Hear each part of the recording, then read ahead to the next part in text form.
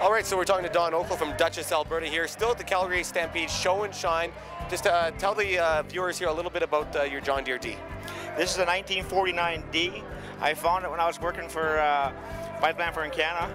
It was by the river north of Patricia, and I, I found the fellow that owned it. It was parked for a number of years, and I purchased it off him. It took a year to get it, but I got it, and I restored it, and uh, here we are. And what kind of shape was it in at that time?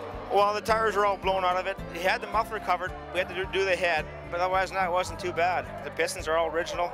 Uh, it was banged up. We kind of tried to knock the dents out of it as best we could, eh, to make it kind of a little more presentable. But uh, yeah, I've had it for a few tractor pulls now, and it pulls good. And uh, I guess how have, you, how have you done in those tractor pulls?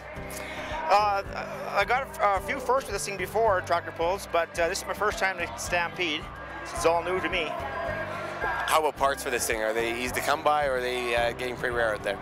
No, they're they're building these parts for these old tractors again, especially John Deere, more so I think than the other models. But no, you can buy them, not a problem. Great. We've been talking to Don Olko from Duchess, Alberta, and his John Deere D here at the Calgary Stampede.